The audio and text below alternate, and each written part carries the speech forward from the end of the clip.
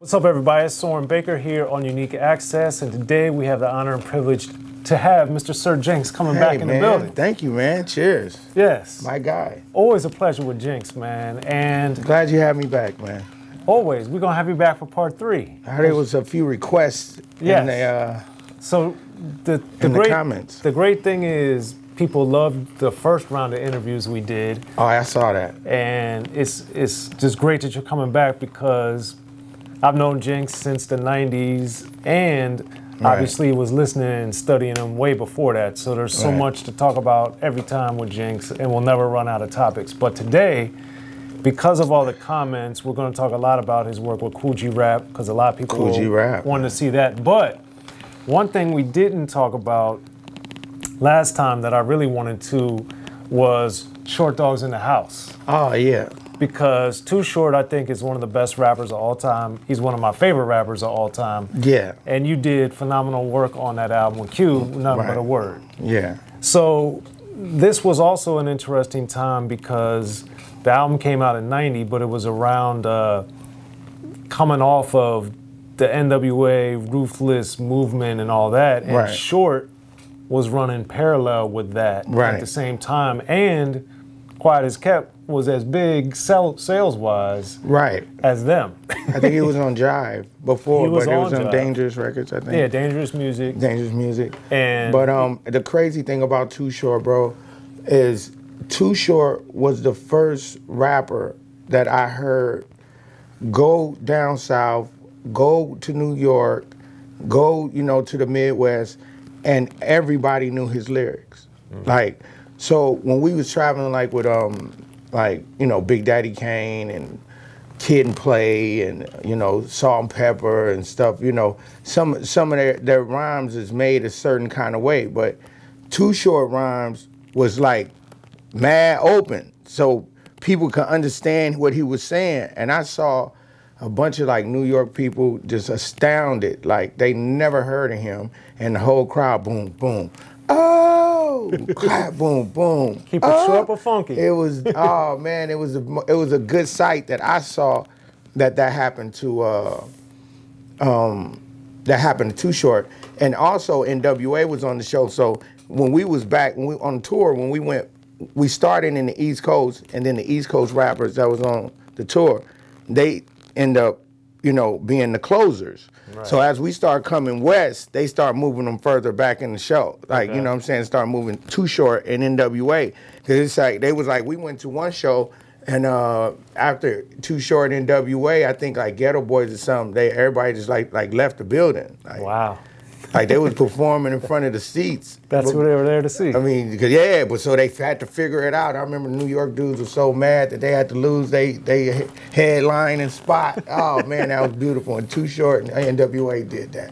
They're the first rappers that moved to the back of an East Coast tour, because if not, the people's gonna leave.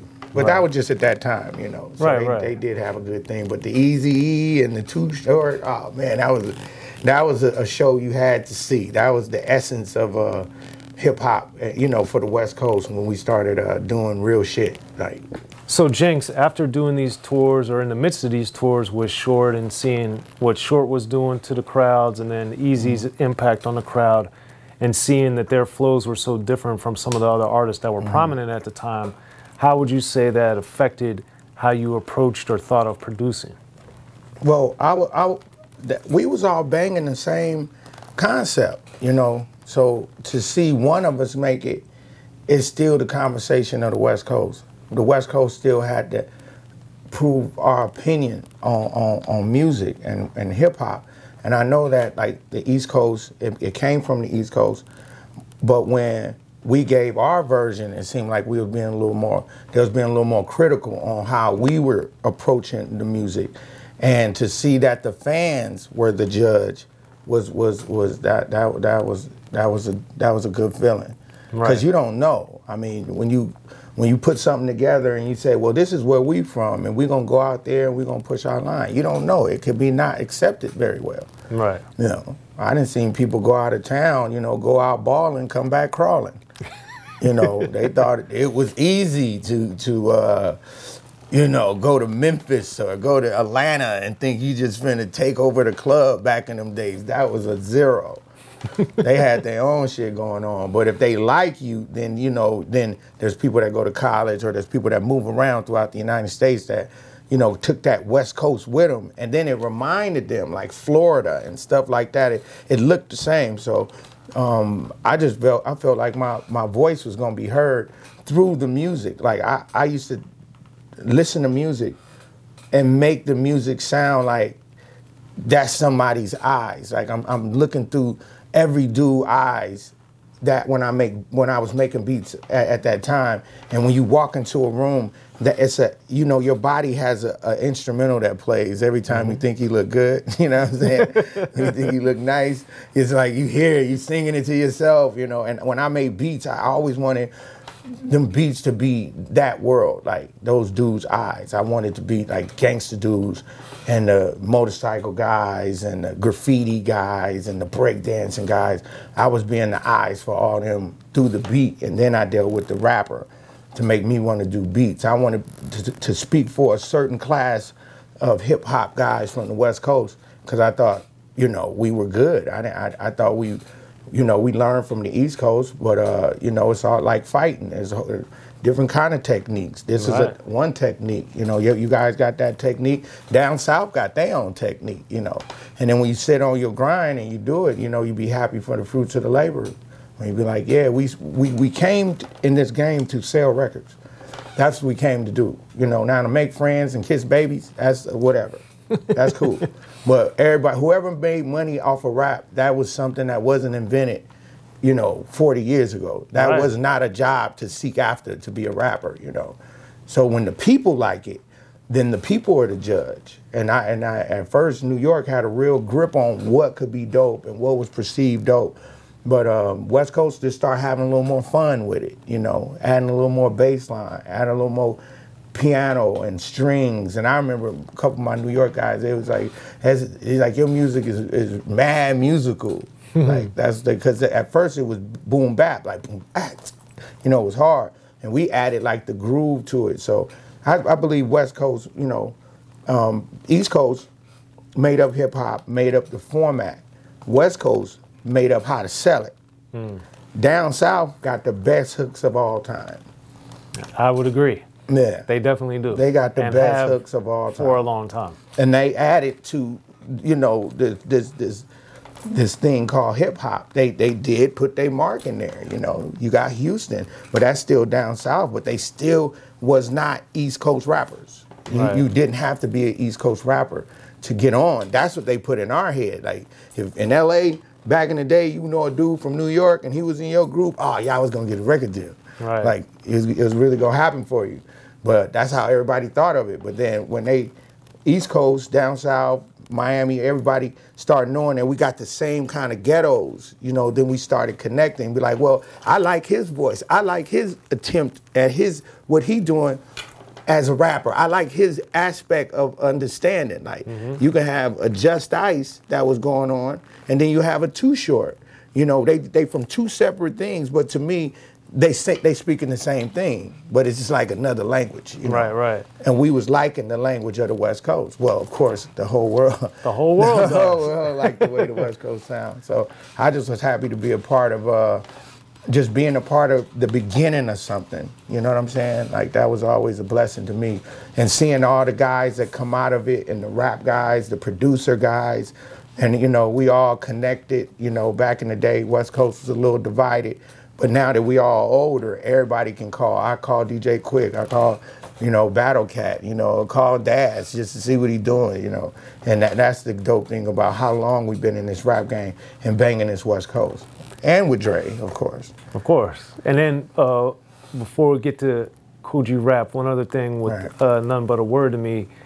That was to me like one of those early records of the combination of Titans to be mm-hmm. Titans in the making so, what did you notice about how Short worked versus how Cube worked, and what made that song so special? Well, the the the, the cold thing is like, um, um, Too Short reminded me of Eric, like reminded okay. me of Easy E. Like they was both kind of the same kind of thing. So, but when Too Short came around and I started seeing him, he had bread. So he was like with him and Pizzo and and, and Too Clean, right?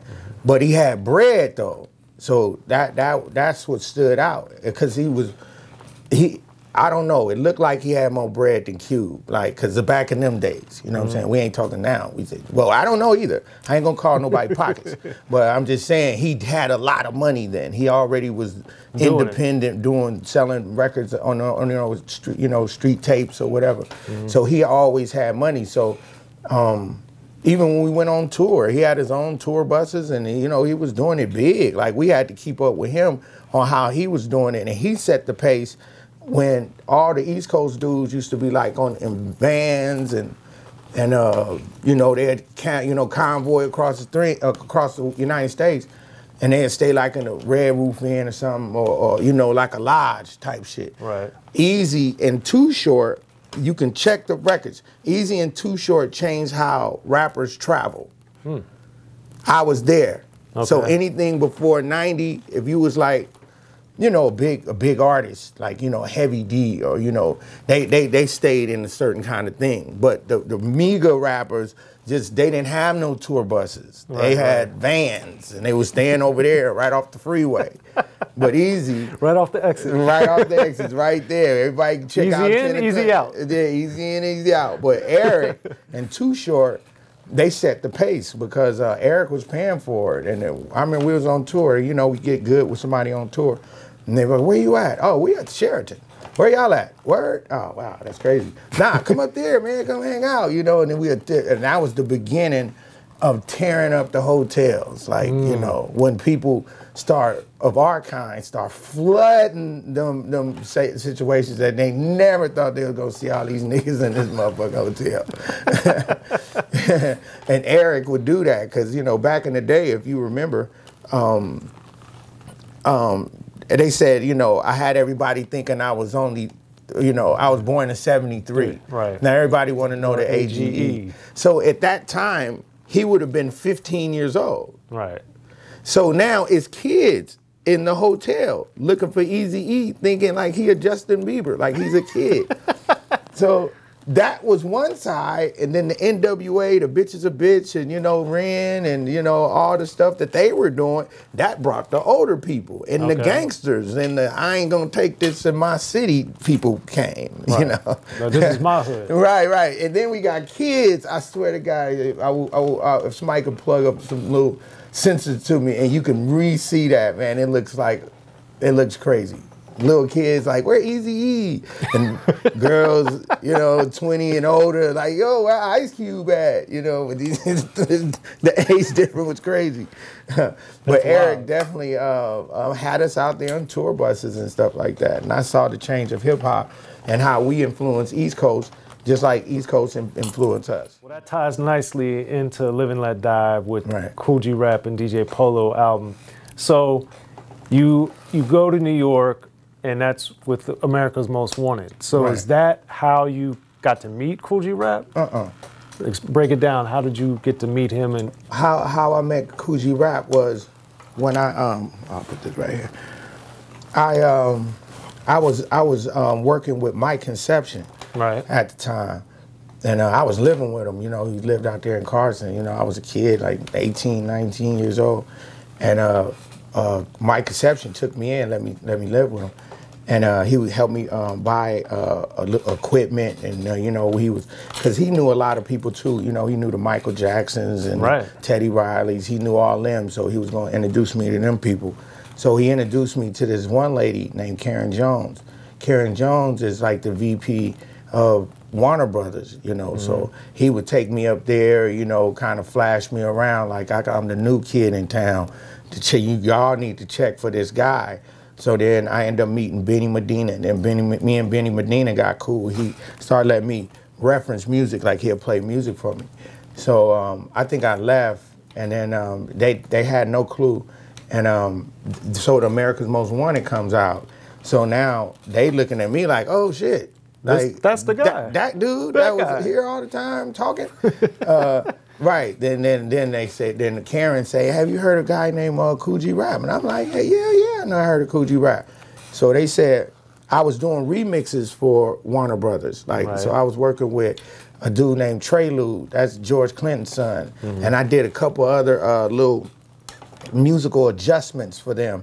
And I was getting bread. That was like the first time I ever got like six thousand dollars to do something. Like I, I was amazed. Back like, then, that's cake. Oh man, it was to see a check and be like here, and then they they kept working with me, so it wasn't like you know it went on to, to do other things like with A and M and and, and what's Quincy Jones label and, and stuff. Right, it, it, it went on to do do more things. So she said, why don't you remix, um, help G Rap remix about four songs. So I was like, oh yeah. He's like, well, you know, we ain't got no budget, you know, the what, what, what.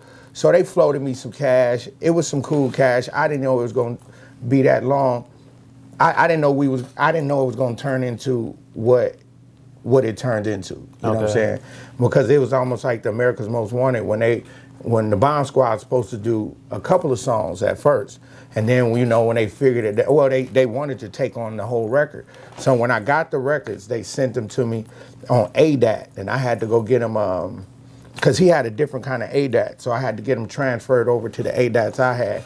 And the first song was On the Run. So it was On the Run, The Great Train Robbery, uh, I think um, it was it was a few of them that he already had when when they sent me all these boxes of, of shit.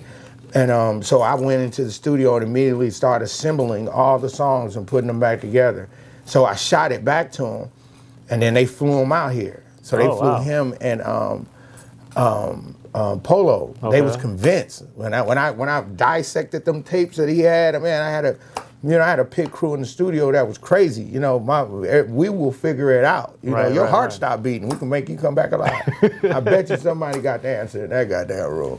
So uh, we put the assembled the stuff back, and I said, well, he just need to put a better vocal on it. You know, because it came from he was working on it I, at, at his house. I added music to it, and then um, so he came down. When he came down, I think we did um, the Great Train Robbery. I don't know if I said that one. Yep. Um, um, Uh, I, I'll start thinking of, of all the ones that Well, he had okay. when he came down. But when he came down, and um, I was just telling this cold story. We was um, they had him living good. You know, Warner Brothers got a deep pocket, Jack. And uh, and uh, for me giving them such a good price, it kind of like made us be able to have fun with the budget. Okay. Like so, it was like I was in charge of the budget too. Like Oh, wow. you know, because I had to make the studio time. So and then I had to deal with my hotel arrangement because they had us in the hotel right there on um, La Cienega and Holiday, like on Sunset, like next Sunset. Oh, they, we, we had a good time. We had a good time.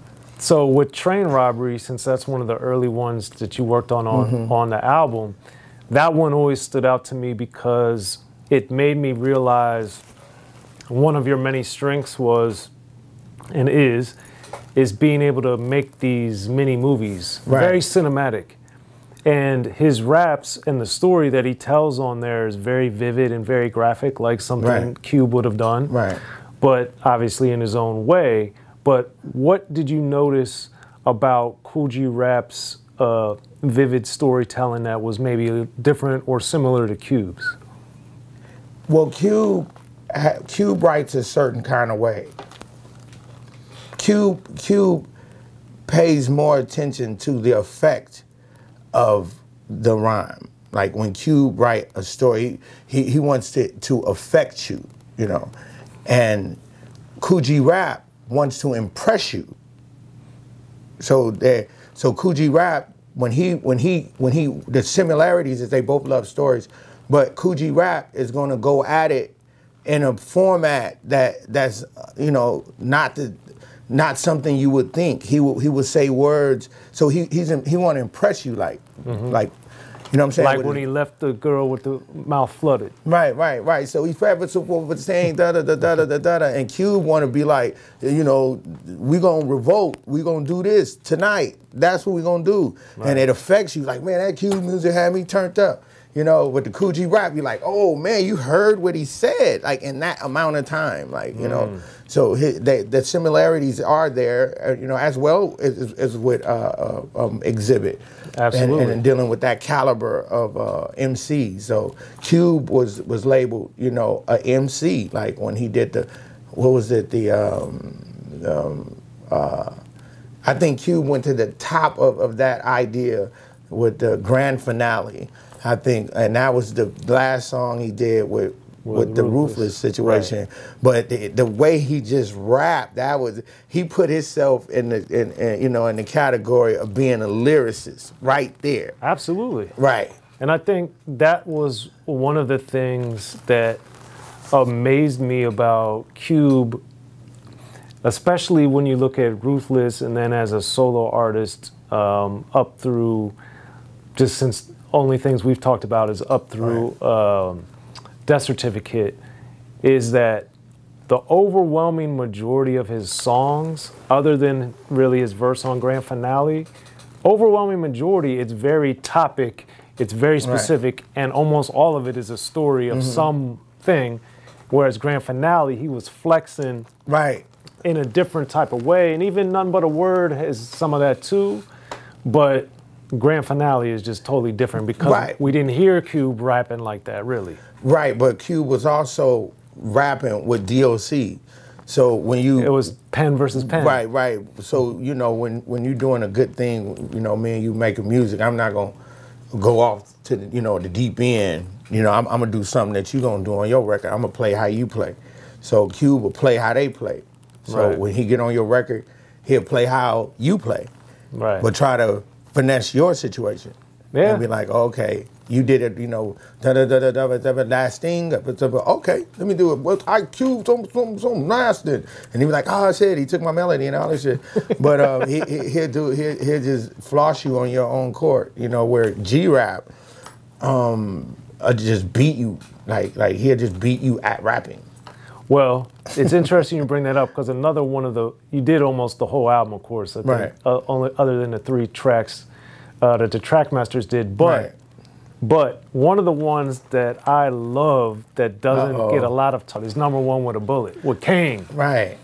So Jinx, Big Daddy Kane, to my Mm-hmm. knowledge, they never had any beef, but they always had a competitive rivalry because they're both so brilliant as writers. Right. So how how and what did you see that they pulled out of each other that was a little different than maybe what we saw in the symphony, for instance? Well, when I when I when I knew when I met G Rap, I had I was already familiar with Big Daddy Kane. Okay.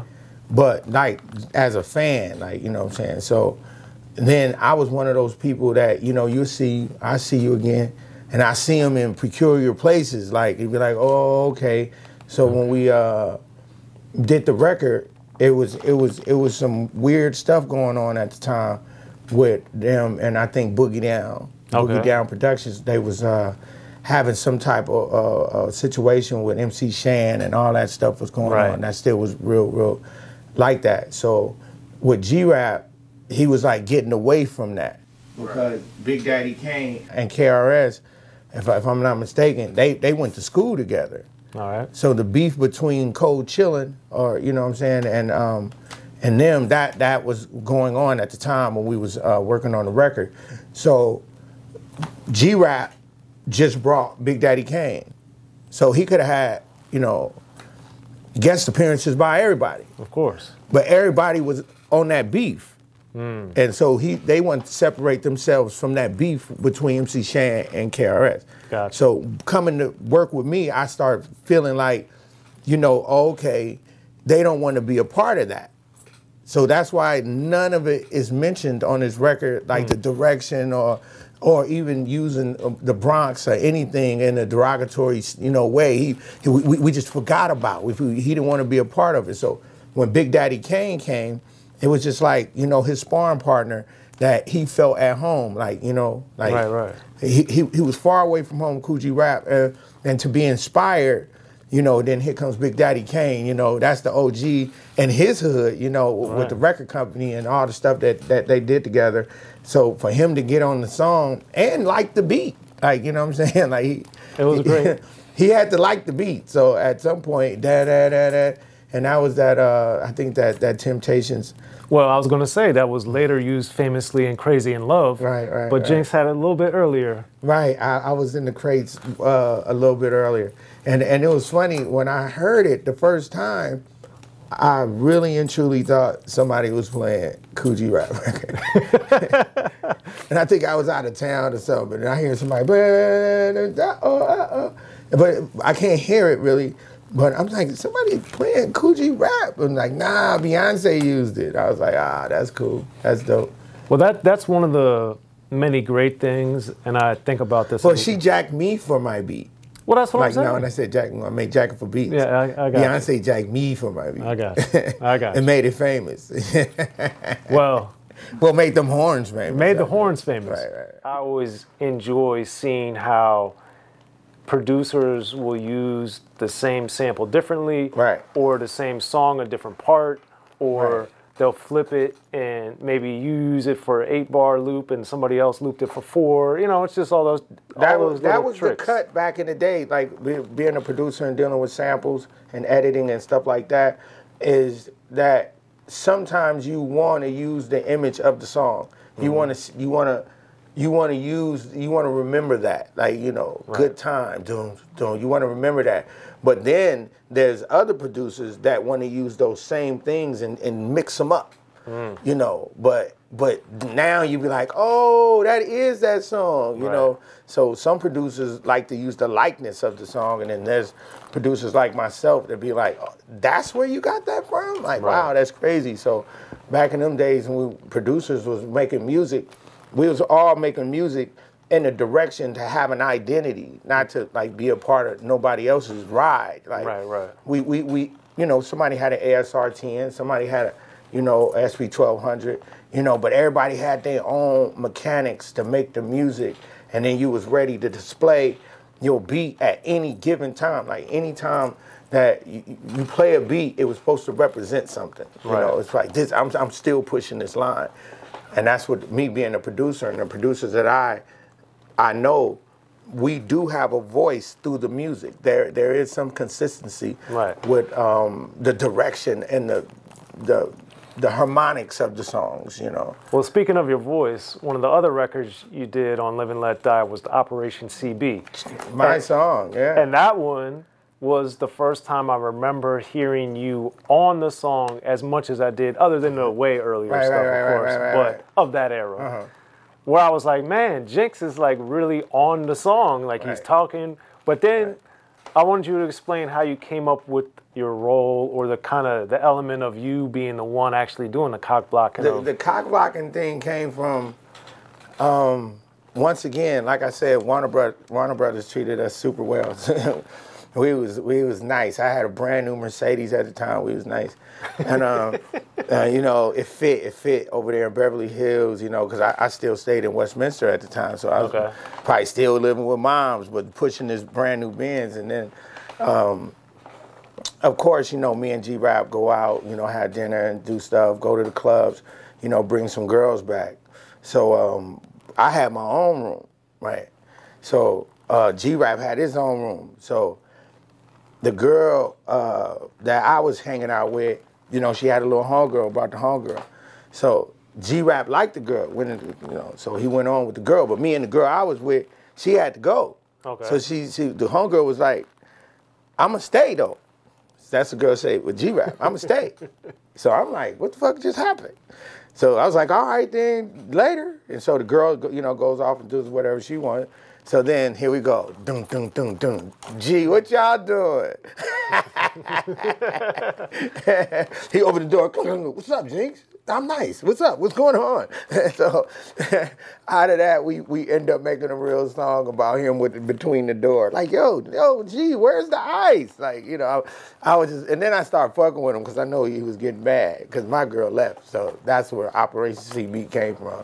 And then now I was like, me and me and G Rap, we used to laugh and joke.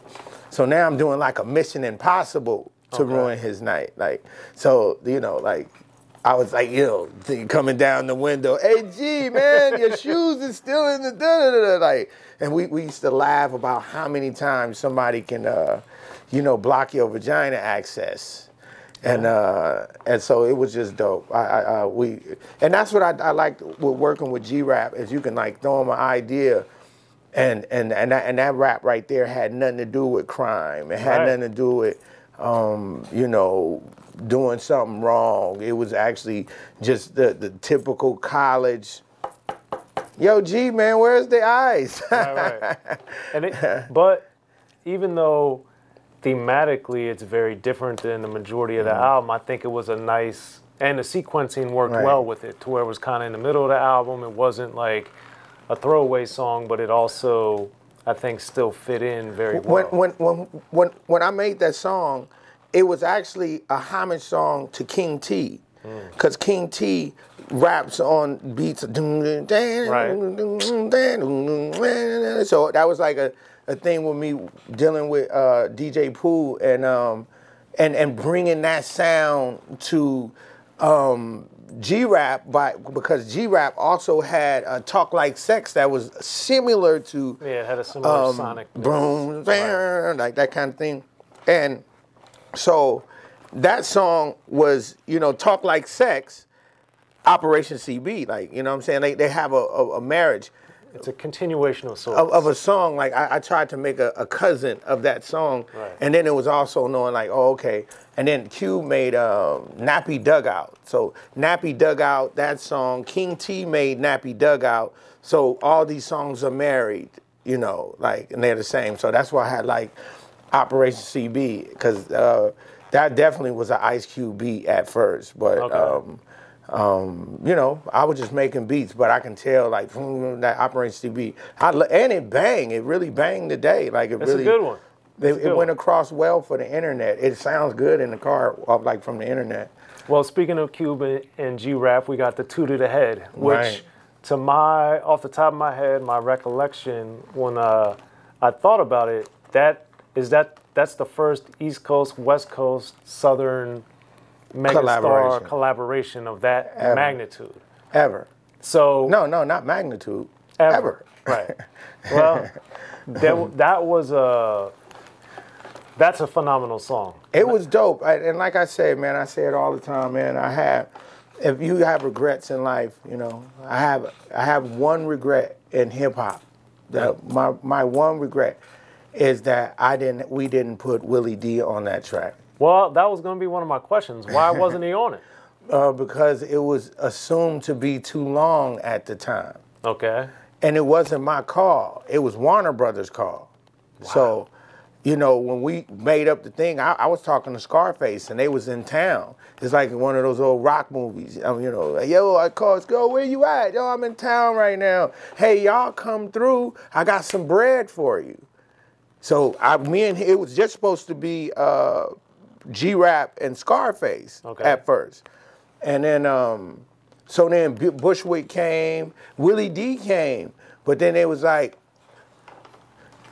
him, like, and I'm like, I, I wish Willie. So wait, D- he recorded? no, they, Uh-uh. it was like they the, the people that was there dealing with the the, the, the you know the, the business of the song. You know, it, was, it wasn't just us in the studio. It was like you know Oh. execs and other people in the studio that that when they came, when they actually came, because they had to be there to deal with them. And oh yeah, I want to be Scarface. Oh yeah, I want to be Willie D. You know, I want to meet them all. But when if we was gonna do the song, the song's gonna be seven minutes Right, right. which was not well it was heard of back in the day but it wasn't heard of like we had to meet that three two four four minute quota you got to you got to kind of wrap it up so i wish uh, willie d my guy i wish he could have been on that track but um, bushwick bill i remember uh, scarface coming in and then um, I played the song for Cube. I, I think we were doing something, and Cube just said, "I need to get on that." And I'm like, "For real?" So get get the execs on the phone. "Uh, I got Ice Cube want to get on the track, and they, oh man, when he came, that that was just like, you know, like oh.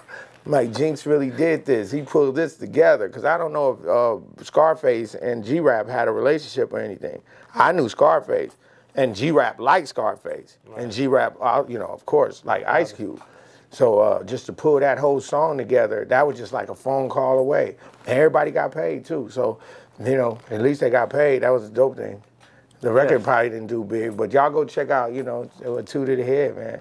That's that's amazing, and it reminded me mainly because it was the last song, but it Right. reminded me of the Ruthless uh, grand finale last song type of vibe, and it had Titans in the game. Well, that's funny that you bring up the um, the ruthless uh, grand finale because that beat is like it inspired me from.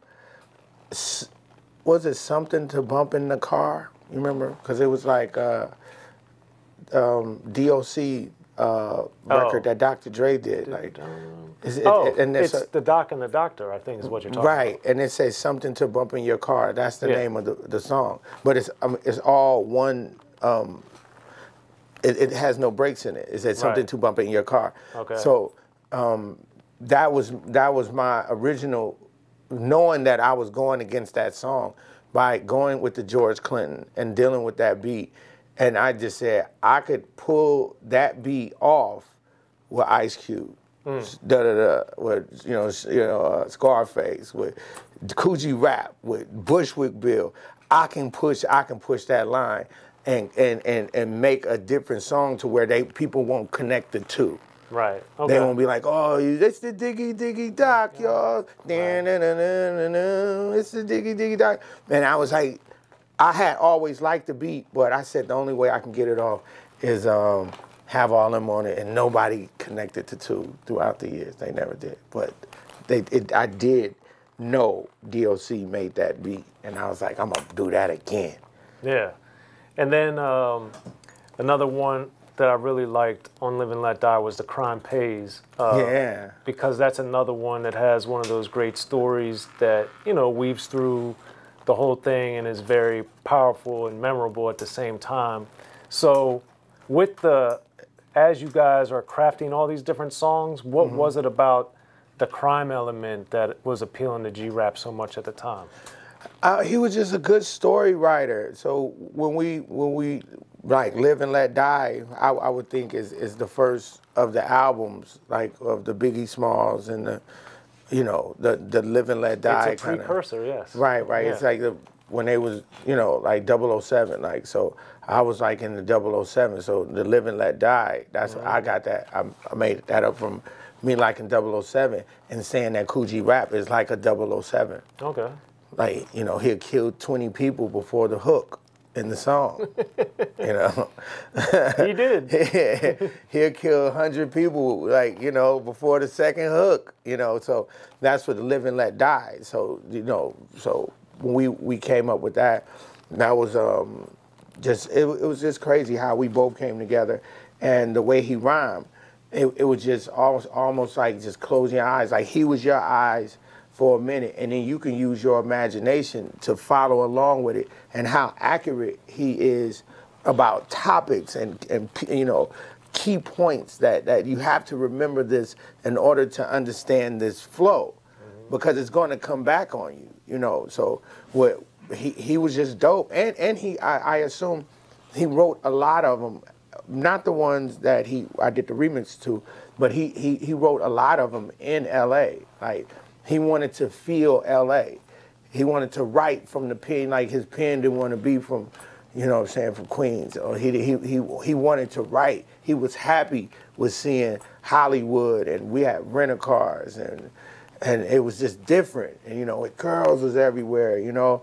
Man um that that's where his pen started going. So he started being a little bit more humorous well he was always humorous with his punchlines but now is you know I, I think the beginning of the sun tree, you know, the palm trees and, and the Venice Beach and the Corvettes and the, you know, uh, uh, light sauteed breast uh, uh, chicken. Ah, where you think I was going?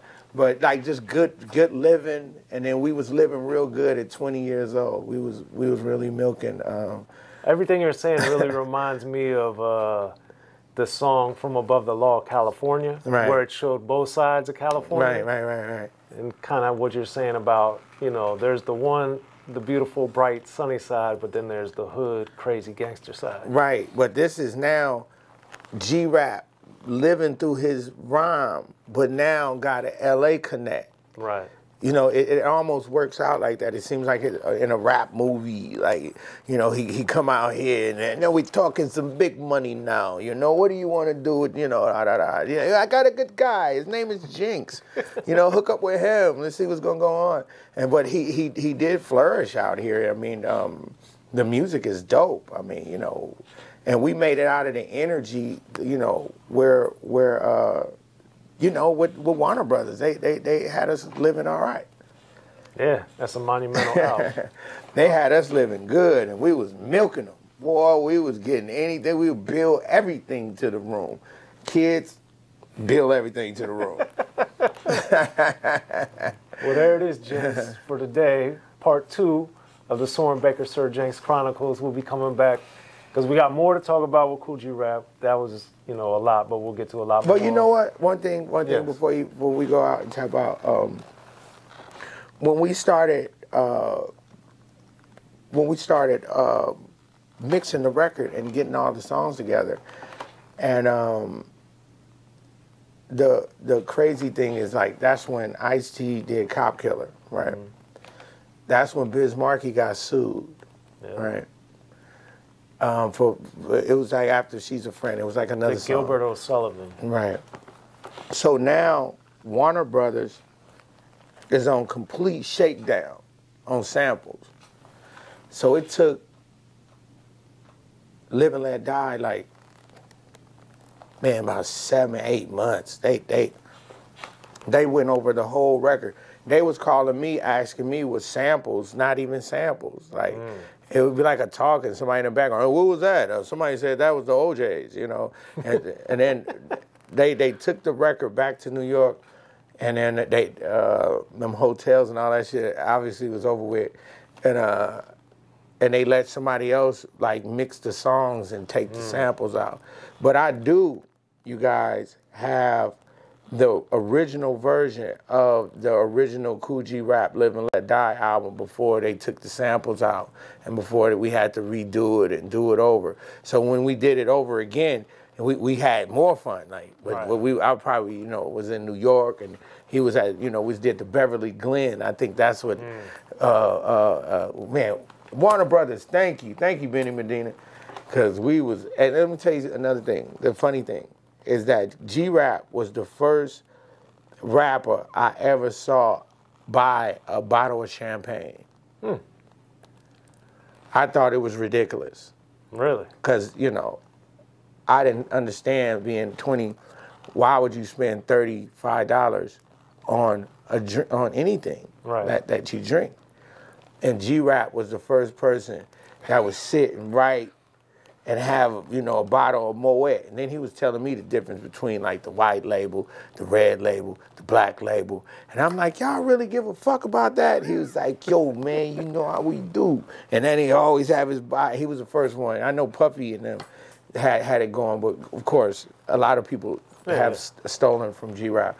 But G Rap was the first dude I see come in rocking the bottle, and he'll he'll come over your house like With a bottle? with a bottle of champagne open. Like usually you like here, this is for you. G Rap would be like, nah, this is mine. Boom.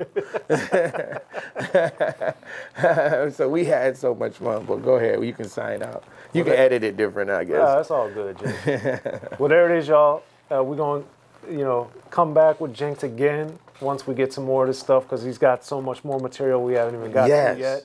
I thought we was gonna talk about the girls hanging off the windowsill. We'll, we'll get to that. We're gonna talk That's about the windowsill. Oh, you gotta hear the windowsill story. We get scared to death. Yes, Go yes. ahead. Yeah. All right, girl, Jinx. Yeah. Always a pleasure, sir. Always, man. Thanks Cheers, for coming man. through. Sir Jinx, I'm Soren Baker, Unique Access. Hey, but check it out. Check me out on uh, my Instagram. Come party with your boy. Cheers. Back.